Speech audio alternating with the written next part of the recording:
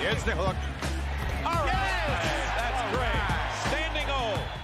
Ends up with the ball, and it'll trot into the floor court. Excellent defense by the Cavaliers. Everyone talking, rotating, and moving. What a move by Garland as he got Hayes leaning the wrong way. Hayes is considered a plus perimeter defender.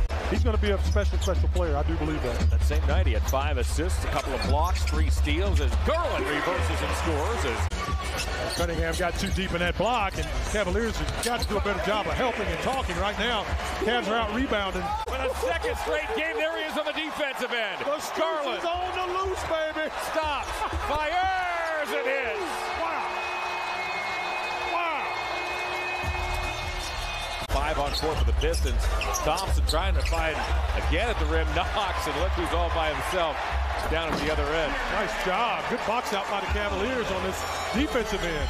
They've committed here in this first half. Yeah. Garland leans, fires, and scores. Darius Garland now has 11 points. Detroit was trying to put together, even though they weren't scoring, they were getting good shots. Garland makes the catch inside, and then it's Allen who thunders it home.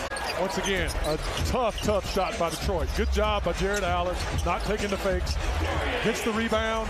We come down, we get a bucket. Now you put that pressure right back on them. They don't, but that's okay. Put the heat on them. Garland, meanwhile, to the basket, lays it up and in. Darius now has 18 points. That's a team high. Sprays it back to Garland. Garland has five seconds with which to work. Stumbles as he tries to deal with Knox. Steps to his left and hits a big three. Boy, that was a tough shot. Knox did a great job defensively. Joel Embiid already was involved in a situation where he was saying, look, we're just trying to Gotta we're play doing hard. what we need to do for group play here. Yep. NBA, no boys allowed. Mobley from the foul line. Cavs are being very smart, very calculated, taking their time. Garland Perfect. casually works his way into a mid-range jumper. Cavaliers have forced 16 turnovers tonight. Garland scrambles inside. He banks and scores. Garland now has a game-high 28.